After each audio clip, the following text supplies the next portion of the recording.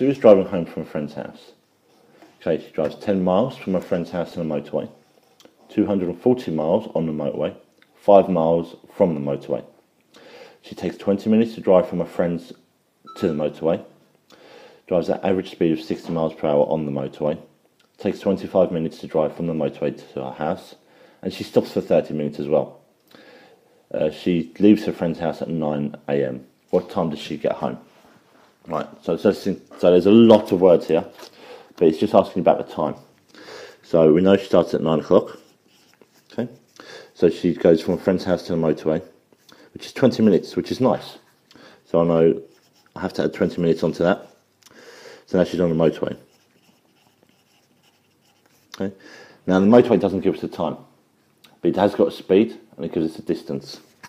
So I need to do the speed equals distance over time. Okay. Some of you might use it as a triangle, triangle speed time. Just remember you've got distance on the top. Um, I'm working out the time, so I'm going to do this algebraically, times by times, times by time. Speed time equals distance, uh, divided by speed, divided by speed. Time equals distance over speed. Okay. Uh, my distance is going to be 240 miles. My speed is 60 miles per hour. I just want to check those miles and those miles because sometimes it's giving you different units. Use my calculator to do this. 40 divided by 16 equals 4. So this 4 is, well, think about what unit it's in. So let's just check my units here with 60 miles per hour, so that's in hours. So it's actually going to be hours. So I'm going to have to add 4 hours. 9 plus 4 equals, uh, 9 plus 4 equals 13. So it's 1320. Okay, so now she's left the motorway. Takes 25 minutes. So I've got to add another 25 minutes to make her home, which makes that 1345. She's home. However, there is a 30 minute break here. Okay, we don't know when that is, but I'm just going to add it on to the end. So I'm going to add, add 30 minutes for the break. That's where it can get a bit confusing because if I do 30 to 45, I get, well, let's do it, 30 plus 45 equals 75. So 1375 is not a time in the real world because this only goes up to 60. So if, if I do that 60, I'll make that 14, 15. Okay, so that's the time it's going to go on. Uh, make sure it doesn't say PM or AM. So the answer is uh, 14.25 or 2.15 PM. Now, again, your calculator can help you out. You have got a button here. It's uh, used for degrees, but you can use it to add time. So I'm actually going to focus on uh, this bit here. Okay. So let's I do 13, uh, 45, 00, because I have to add the seconds. That's right then. 13, 45, 00, put in. Okay, and I need to add 30 um, seconds, so 00, 0, uh, 30, 0, 0. It'll work out to 415 for you. So just remember this button here is good for calculating the time. ABCD is a trapezium. AB is 25, BC is 24, CD is 10. Angle ABC is 90 degrees. Calculate the size of CDA. So CDA is this one here. Now, I'll give you answers to three significant figures. You may think of this, maybe it's trapezium. You might think, oh well, it's top plus bottom times height divided by 2, it's top is bottom. But it's nothing to do with areas, to do with angles. Now normally if something to do with angles and you haven't got much given, it's going to either be trigonometry or it's going to be Pythagoras. Now I want to split this up to make triangles. If I put a line here, I have a nice right angle triangle. And I know this is 24 centimetres. But don't think this side here is 25 because 25 is all of it. So this 25 is a whole length. So if I actually want this side of the triangle, okay, I have to do 25 minus 10, which actually makes it 15 centimetres. And I know this is going to be a right angle because I made this a rectangle. So it's this one here I really want to look at. So let's label it up. This side's my opposite, this side's my hypotenuse, this side's my adjacent. Okay. I like to write down all my trig formulas. I don't know how you remember it, but I always remember it as uh, some old hag cracked all her teeth on apples. We want one that's got the opposite and the adjacent, which means be tan. So it's tan of your angle equals your opposite over the adjacent. Uh, my opposite is 15 over 24. Okay. But because I need to find the angle, I need to do the tan minus 1 of 15 over 24. So shift tan. I'm just going to write 15 over 24. If you wanted to, you can put that in brackets and find the actual decimal equivalent. Okay, so 32.0053. I've written too many digits here, which is this one here. I have to add my 90 as well, because it's actually asking for the whole thing. So I'm going to add 90 degrees to that. Okay, which is 112.005. Now it says to three significant figure. This is my first significant figure, that's my second, that's my third. This round down, my answer is 112 degrees. In the 2012 Paralympics, the total number of gold and silver medals won by Brazil was 25. The ratio of number of gold medals that Brazil won to the number of silver medals is 3 to 2. How many silver medals? This is just ratio of amount. So 3 to 2 is 5. Let's make sure I've got it right around. Uh, gold to silver. Okay. Uh, we know it's 35, so you've got to think 5 times what is 35. I'm going to do the opposite way, so I'm going to do 35 divided by 5. 7, so I've got times this by 7. So we'll times both of them by 7. 2 times 7 is 14. 3 times 7 is 21. How many silver medals is this one here? So the answer is 14. Janet lives in England. He does a search on the internet and sees the type of camera sell in France and America. In France it costs 126 euros, in America it costs 165 dollars. Janet finds out the exchange rate how much cheaper is the American than than in France? Camera in America than in France. Give your answer in pounds. I need to convert everything in pounds. So I'm saying in France, it's 126 euros. One euro is 0.89. So to get this to pounds, we have to times this by 0.89. 126 times 0.89. 112.14 pounds. Now, if we do it in America, uh, it's 165.24. Now, it's given us the other way around. If we're doing pounds to dollars, we times it by 1.62, but we're not, we're doing dollars to pounds, so we need to divide that by 1.62. So I've got 165.24 divided by 1.62 equals 102. Now it says how much cheaper, so we need to subtract it. Uh, I've got a negative number because I typed in my calculator the wrong way, but the answer is 10.14 pounds. Group 200 adults uh, were asked which type of magazines they read. Their replies are 82 Read Sports, 80 Read Garden, 84 Read Fashion, 36 Read Sports magazines and Read Garden, 61 Read Sports magazines and Read Fashion, 25 Read Garden magazines and Read Fashion, 14 Read Sports magazines and Read Garden magazines and Read Fashion magazines. Complete the Venn diagram to show this information. Right, it's not when it says 82 Read Sports magazines, you've got to think 82 is that entire circle. So that includes Sports and Garden, includes all of them, and includes Sports and Fashion. So what I'm going to do is I'm going to work backwards. One it says 14 Read Sports magazines and Read Garden magazines and fashion. That's going to go here. So when it says 25 Read Garden and Read Fashion, this 25 includes this 14. So that's really 25 minus 14. I'm doing my calculator for this. 25 minus 14. So that means 11 goes here. Okay, so that's done, that's done. 31 Read Sports Magazines and Fashion. So it's this one here. So that's 31. So it's 31 minus 14, which is 17. Cross that off because I've done it. 36 Read Sports and Read Gardens, which is this. So it's 36 minus 14, which is 22.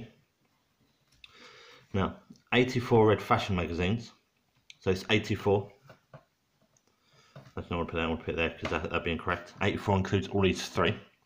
So I'm going to do 84 minus 11 minus 14 minus 17 which means this is 42. 80 read garden. So this 80 includes all of them. So it's 18 minus 22 minus 14 minus 11. Which means it's 33. And cross it off. 82 read supporter magazines. So it's 82. And I've got minus these three again. 20, 22 minus 14 minus 17. Which means this is 29. Okay. Now you might think that all of this is completed, but if you notice I cross this bit out because this is incorrect, we have to fill out the back bit because this is built with somebody who reads none of these magazines. Now we know it's out of 200, so we'll do 200 minus every single one of these numbers. Okay, so it's going to be 200 minus 33 minus 22 minus 29 minus 17 minus 14 minus 11 minus 42, and outside should be 32. It's quite simple to forget this, so please remember to put the last one in. The next question. One of the adults is asked to be chosen at random. Find the probability this adult reads none of these magazine types. Well, because there's 200, we know it's going to be out of 200. None of these is 32, so it's going to be 32 out of 100. Now, it doesn't say put it in the simplest form, it doesn't say give it as a decimal, so we can leave it as that. But I'm going to use my calculator just to cancel it down, just to be posh. Does it 4 over 25. It's not asking you to do this, but just do it anyway. If you want it as a decimal, 0.16 or 16%. Any one of these answers is correct. It's not that you have to put them all down, just anyone will find. So work out the probability that he reads exactly two types of magazine. So if you think of people who read exactly two types, it's this one, this one, and that one. Now you might think about the one in the middle. That's not exactly two types.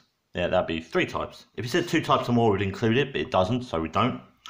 So it's going to be 17 plus 11 plus 22. Okay, and it's 50. Again, it's 50 out of 200. Same rules apply. I can have a can. I don't need to cancel it down because the question doesn't ask me to. But if you want it to be push, you can. 50 out of 200, which is a quarter. Press S to D, and it tells me 0.25 or 25%. Again, any one of these answers is acceptable. A, B, C, D, E, F is a cross section of a prism. ABCF is a square, is that? FCDE is trapezium, ED is 22, the height of the prism is 20, the length of the prism is 80, work out the volume of the prism. Okay, now the first thing that we need to do is to work out the, uh, we'll put a measurement in for the square. It's a square, so even though it looks like a rectangle, this has to be 12, that's got to be 12, and that's got to be 12. So normally uh, volume is cross-section times the depth you might want to work out the whole volume of this uh, cuboid and then the whole volume of this uh, trapezoid prism. But I'm going to work out the whole cross section and times it by 80. So uh, my square is just going to be 12 times 12. 12 times 12. So this is 144. Okay, centimetre squared because it's the area. Now, trapezium is your top plus your bottom times your height divided by 2. You need to remember that.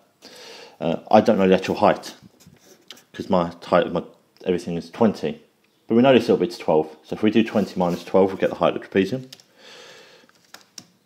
which is 8. So now I can do my sum of 12 plus 22 times by height divided by 2. 12 plus 22 equals times 8 equals divided by 2 equals uh, it's important to put equals because if I do 12 plus 22 times 8, it's going to do this little bit here first. You could just put in brackets, you'll get the same answer. Yep. Uh, add them together. So plus 144, 280. So the whole thing's going to be 280 centimetres squared. Uh, cross section times depth, I need times it by my depth, which is 80, which is 22400 centimetres squared and that's it. Liquid A has a density of 0.7 grams per centimeter cubed. B has a density of 1.6 grams per centimeter cubed. 140 grams of liquid A and 128 grams of liquid B are mixed to make liquid C. Work out the density of liquid C. Now the first mistake people tend to do is they tend to add them together and then divide them by 2. That's not the case because there's different amounts of both of these. So the easiest way is to try and work out the volume of liquid C, and we've got the weight of liquid C, or the mass is really what I'm going to use, so I'm going to use the word mass, and then we divide it. Now people tend to forget the uh, formula for density. Okay, so we've got density, but it includes here in the units of density. It's grams per centimeters cubed. Grams is grams, centimeters cubed is centimeters cubed. But grams is actually your mass, and centimeters cubed is your volume. So I never remember this. I just look at the units which is grams per centimetre cubed. Now there might be a question where it's giving you the uh, mass and the volume, so you might not have the units. But look where you normally write your answer. So let's talk about A. Right. So A has a density of zero point seven, and I know the um, it's going to be my mass is 140. So I need to work out my volume. Okay, to solve this, uh, you times both sides by centimeters cubed, times by centimeters cubed, 0.7 centimeters cubed. Remember, this is a unit, like the actual variable, not a unit, equals 140, divided by 0.7, divided by 0.7, which is my centimeters cubed, equals 140 over 0.7. Remember, centimeters cubed is my volume, should have really used that. Uh, 140 divided by 0.7 equals 200. Right, I'll do exactly the same for B. Okay, so B is 1.6 grams per centimetres cubed. I know the uh, mass is 128 grams over centimetres cubed, which is really volume. Do the same thing, times by centimetres cubed, times by centimetres cubed. 1.6 centimetres cubed equals 128 divided by 1.6 divided by 1.6 okay which is centimeters cubed equals I'll use my calculator do 128 divided by 1.6 means I've got 80 centimeters cubed. So that's my two individual ones. Now I'm mixing them together. So I still need to write my density equals mass over volume. Density I don't know because that's what the question's asking me to find out. Um, my mass going to be my two weights added together. So it's going to be my 140 plus 128. 140 plus 128. Okay, uh, which is 268.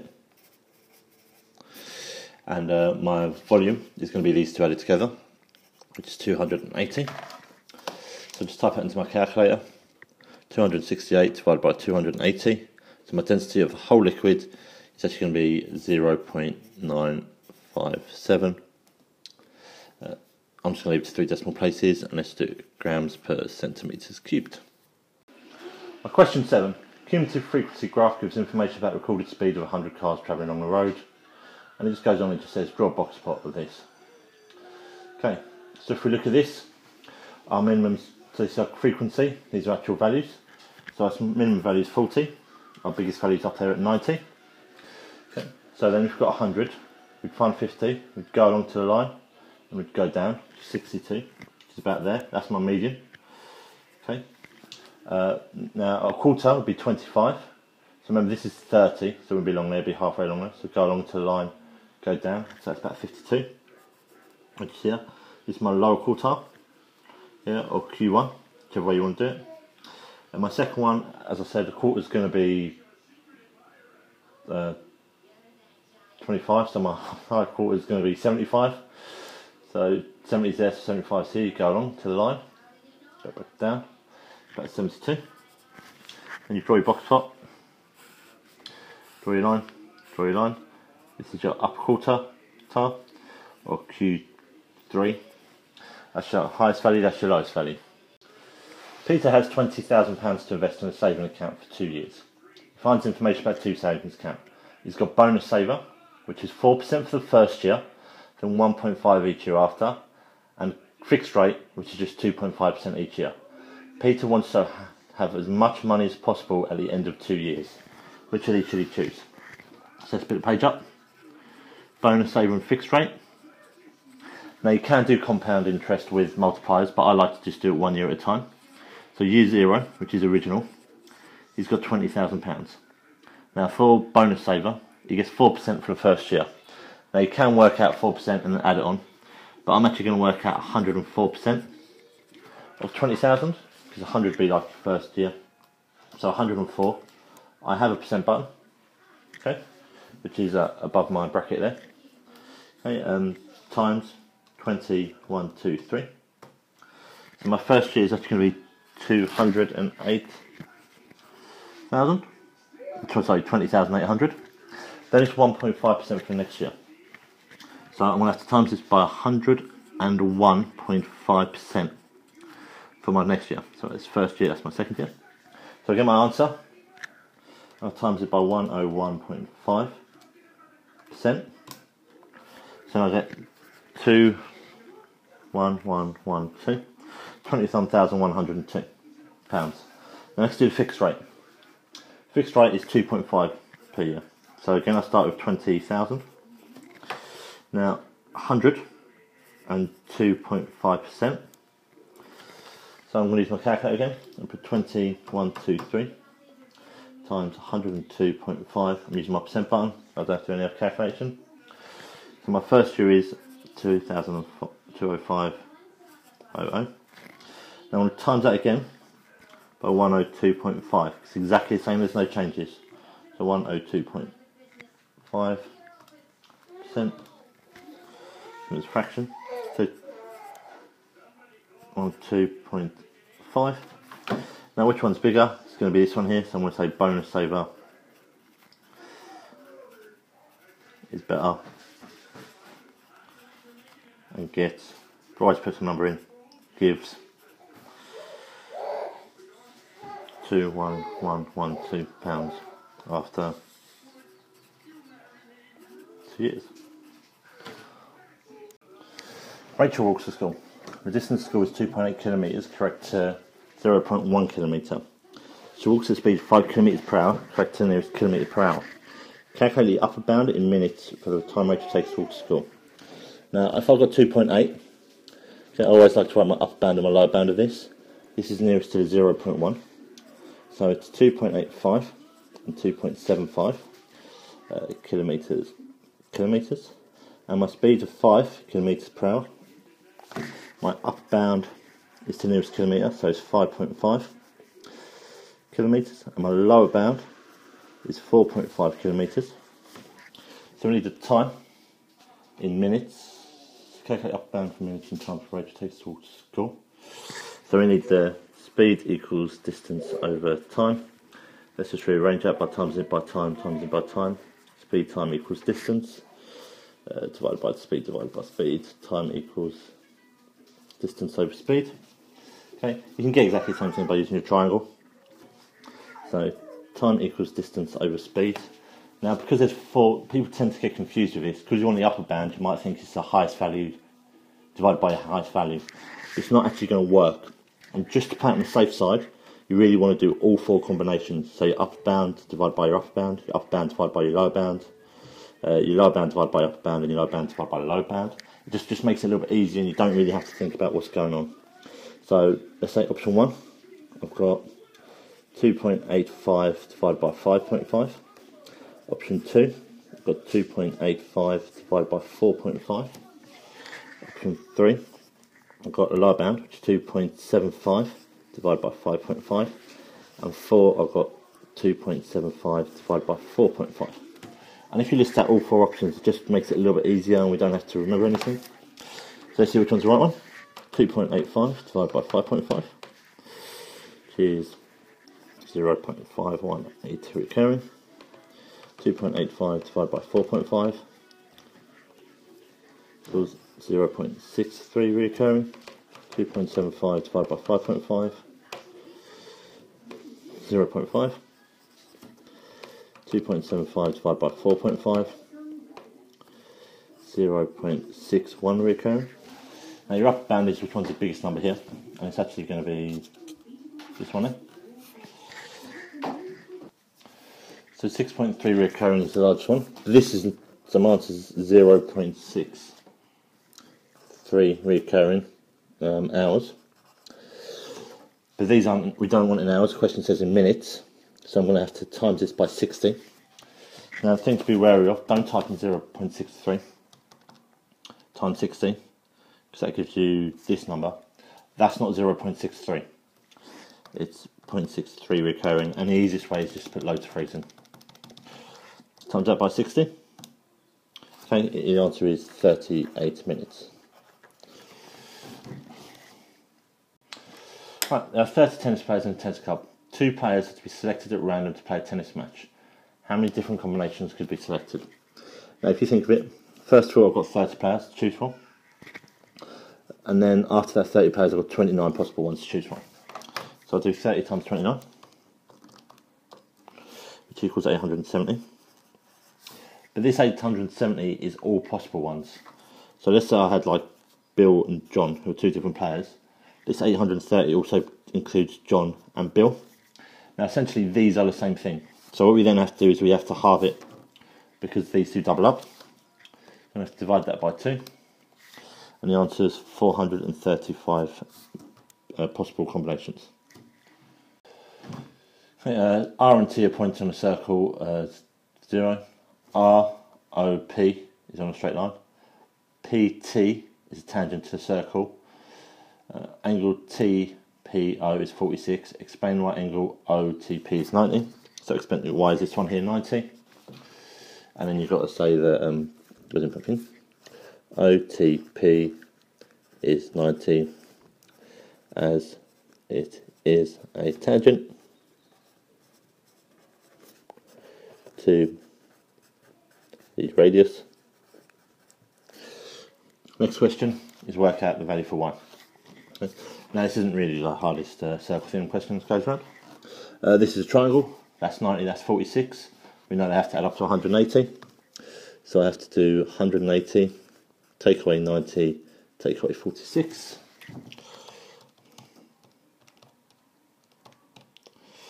Which equals 44. So I know that um, TOP equals 44 as angles in oh, sorry, a triangle add up to 180 degrees. So if I know this is 44, I know this one here, uh, this is on a straight line, so it equals 180. So 180 take away 44 equals 136. So ROT equals 136 degrees as ROP is a line, straight line.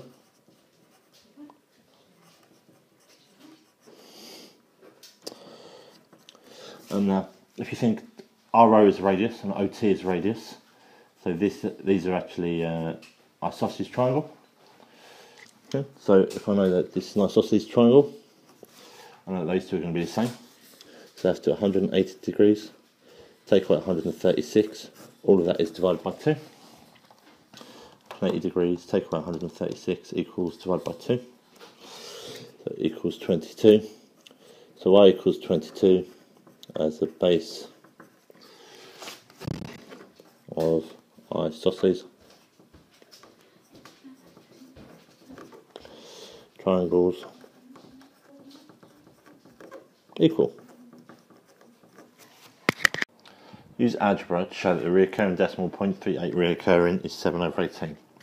Now 0.38 recurring, it's not 0.383838. That's not what it was.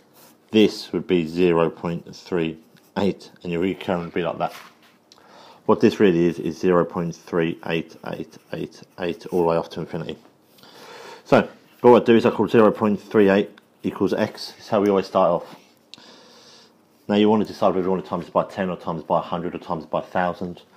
And uh, it's really to get rid of these 8s. Now I'm going to times by 10. Okay, so I've got 10x. So if I times this by 10, I get 3.8 recurring.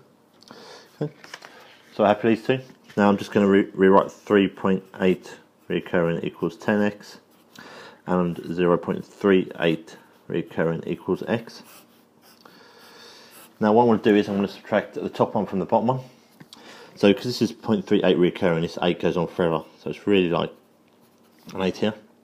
So when you subtract it, I've really got 8 recurring, take away 8 recurring. So all of these 8s disappear. It's to nothing. Then 8 minus 3 is, is 5. 3 minus 0 is 3. Uh, 10x minus 1x is 9x. Okay, this is just a nice linear equation we can solve. So I'll divide this by 9, I've got to divide that by 9. So I've got 3.5 over 9 equals x. Okay.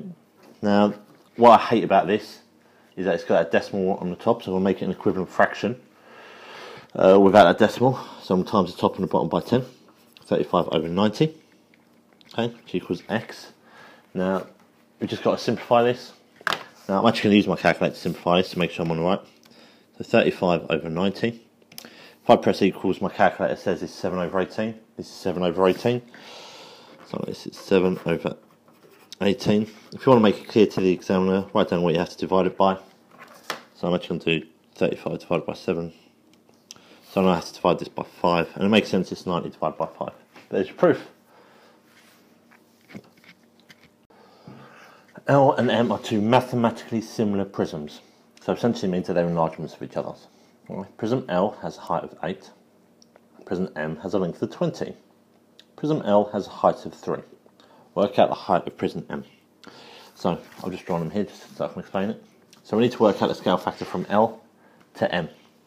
So we need to think about it as 8 times what is 20. Now the actual scale factor is actually going to be 20 over 8. Now if I type into my calculator just see if that cancels down. Don't need to, but okay, which equals 5 halves. And that's what will make sense because 5 halves is above 1 and that's going above it. Let's just check. 5 times 5 halves equals 20. Good. But I actually need the height of n. The height here is 3. So I need to do 3 times 5 halves and see what the answer is, and that will make my give me my height. 3 times 5 over 2 so, uh, equals 15 over 2. Under SD, 7.5 centimetres. Um, I could actually write 15 over 2 centimetres, as they're both exactly the same answer. So my height is either 15 over 2 centimetres or 7.5 centimetres. Second part, prism M has a volume of 1,875 centimetres cubed. What is the volume of prism L? So saying this one here is 1875 centimetres cubed. Now we, know the scale factor from there to there is 5 halves. Now if it was talking to me the cross section, my scale factor would be 5 squared over 2 squared. Okay? But now we're talking about volume, so my volume scale factor is going to be 5 cubed over 2 cubed okay? Because we've got a cube because we're dealing with um, cubes, how many cubes I can fit in there. So we'd normally times that to go from L to M. It's asking me to go from M to L, so I won't be timesing it, I'll be dividing it. So my actual sum is going to be 1875 divided by 5 cubed over 2 cubed. And uh, I can make this out to be, whatever that is, 8, and make that to be uh, 125. Let's just let the calculator do all the hard work because I have a calculator. Uh, divided by 5 uh, cubed. Do it properly so my calculator can do it. Over 2 cubed. And my answer is 120. 120 centimetres cubed. And let's see, does that make sense? Well, this is definitely smaller than that. And yeah, that's right. So that x squared plus 3x equals 5 can be rearranged to give x equals 5 over x plus 3. Now I've got an x here, so I want to get x on its own here by factorising x out of both of these, which I can do. Uh, x plus 3 equals 5. Uh, now I'm times by this, so I can actually divide this by x plus 3. I can divide that by x plus 3. By x plus 3 cancel out. So I'm now left with x equals 5 over x plus 3. Which is all good. Let's scroll down to get part B use iteration formula of x plus 1 equals x over 5 over 3. Sorry, to find a solution for the equation x squared plus 5 plus 3x equals 5 to 1 decimal place. Now, it says x0 is 1, so my first term is going to be 1. Now this is where you need to use your calculator, and you've got to use your calculator properly to do this. I'm going to do 1 and do equals. My calculator has now saved 1 as the answer. So I'm going to type this equation in, but wherever there's an x, I'm going to put equals now. So I'm going to do 5 all over answer plus 3. Now if I press equals, I get 5 quarters.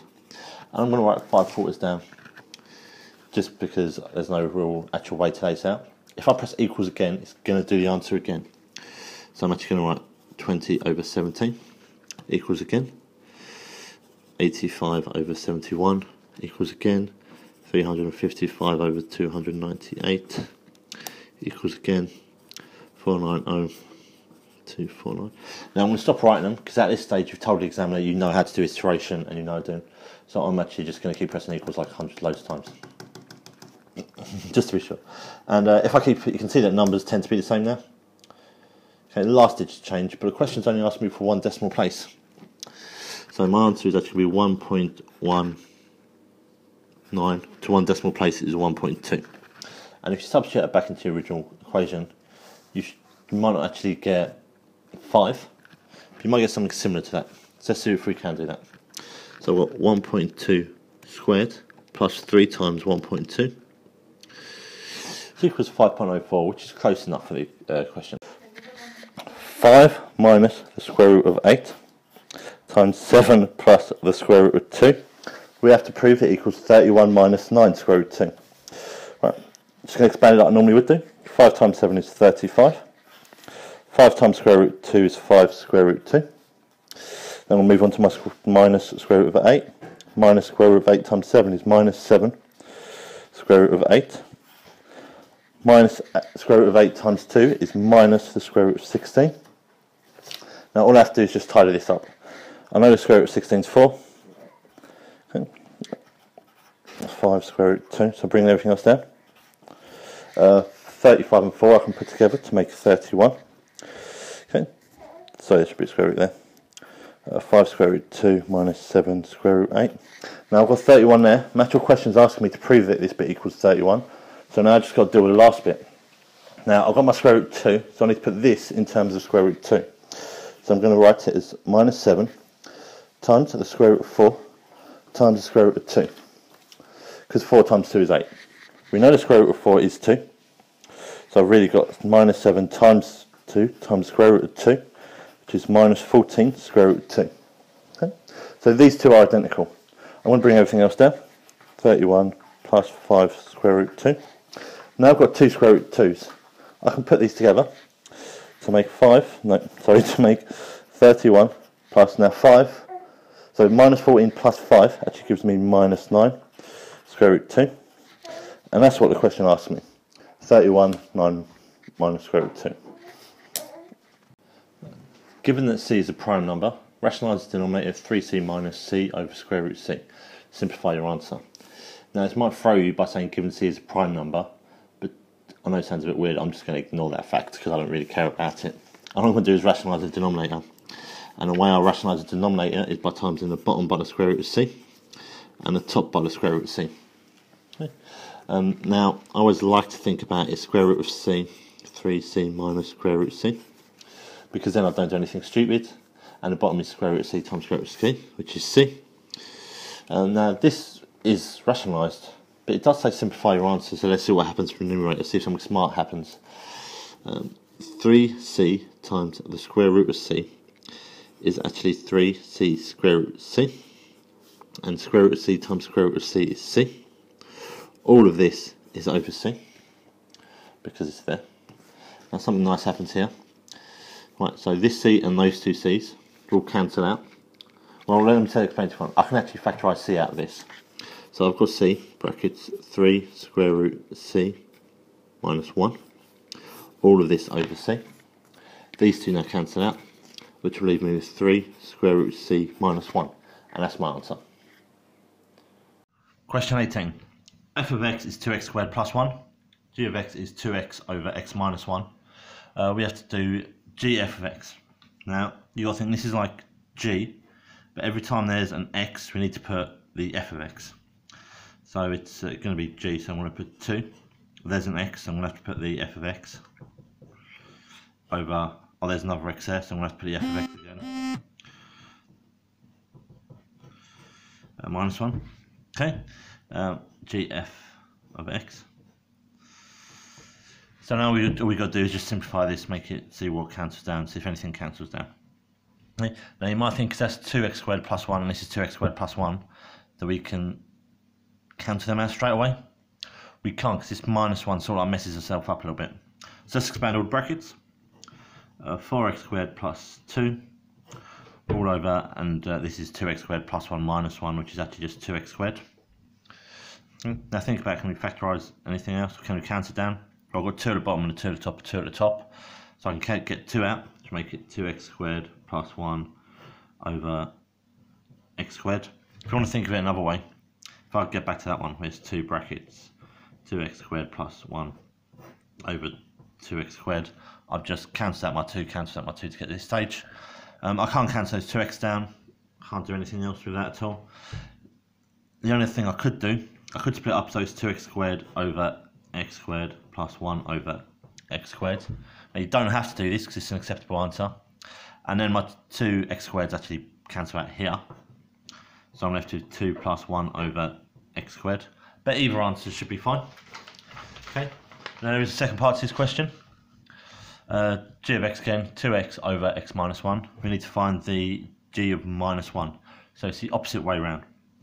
So what I like to think about it is if I do y equals 2x over x minus 1, just written normal form. Now you've got to swap your x's and your y's around. So x equals 2y over y minus 1. And now I need to make y the subject of this formula. So I hate fractions, so let's get rid of them. So I've got y minus 1, x equals 2y. Okay, uh, let's expand the bracket. So let's see what happens. Uh, yx minus x equals 2y. Uh, let's get my y's on one side, so minus yx minus yx, which leaves me with minus x equals 2y minus yx. I can factorise my right hand side. I can actually take y out. y brackets uh, 2 minus x. Now I can divide by 2 minus x. I can divide by 2 minus x. Okay, these cancel out. So I'm left with minus x over 2 minus x equals y. So this is my inverse function of g. Uh, this is a fine answer, uh, but it might be worth noting that I can actually um, times the top and the bottom by minus 1, which will give me x over minus 2 plus x equals y, or x over x minus 2. Uh, both answers are acceptable, it's just generally we like to have a positive x on top. Okay, the question uh, 3 over x plus 2 plus 4 over x minus 3 equals 2. Uh, I'm going to do this step by step. There might be a few more stages than what you're used to, but it has to happen. Right, uh, adding fractions, same as if these didn't have any algebraic terms, I need to make the denominator the same. So I'm going to times this one, the top and the bottom by x plus 3. And this one here, I'm going to times the top and the bottom by x plus 2. Then what I'm left with is 3 brackets x plus 3 over x plus 2 x minus 3 plus 4 brackets x plus 2 and it's going to be x plus 2 x plus 3 equals 2 now my denominators are the same I can just add the tops um, I'm going to expand them add the tops. So this becomes 3x plus 9 and this becomes 4x um, sorry plus 8 this is actually minus 9 because that should be a minus. Uh, my denominator is just x plus 2, x minus 3 uh, equals 2. Uh, so then what I'm going to do is I hate fractions, so it's always good to times by the denominator. So I'm going to times both sides by x plus 2, x minus 3. I'm going to times that by x plus 2, x minus 3. Okay, so this side here, I'm going to put my, actually it's going to be 3x minus 9 plus 4x plus 8 equals 2 brackets x plus 2 x plus sorry x minus 3 now on my left hand side I'm going to put my terms together 3 plus 4 so 4 5 6 7 7x uh, minus 9 plus 8 is minus 1 uh, I'm going to expand my first first bracket here just to be 2x plus 4 uh, x minus 3 Okay. Now, no, nothing good's really going to come. Nothing nice is happening. So I'm going to expand my second br brackets now. Uh, 2x times x is 2x squared. 2x minus 3 is minus 6x. Move on to the 4. 4 times x is 4x. 4 times 3 is minus 12. Uh, I'm going to get my numbers all on one side because I need this to equal to 0. So only way I can solve these. So I'm minus 7 and plus 1 from this side, which means we have to minus 7x and plus 1 from that side. This becomes 0. Uh, I've got 2x squared. Now I'm doing minus 6, minus 7 and plus 4. Okay, so minus 6 plus 4 is minus 2. Minus 2 minus 7 is minus 9x. Minus 12 plus 1 is minus 11. Now I have to is I have to solve this.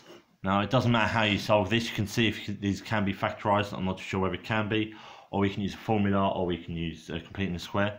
I'm going to use a formula because I just like the formula. So the formula is minus b plus or minus uh, square root of b squared minus 4ac all over 2a. Um, a is 2, b is negative 9, and c is negative 11. Me just move around so you can see it.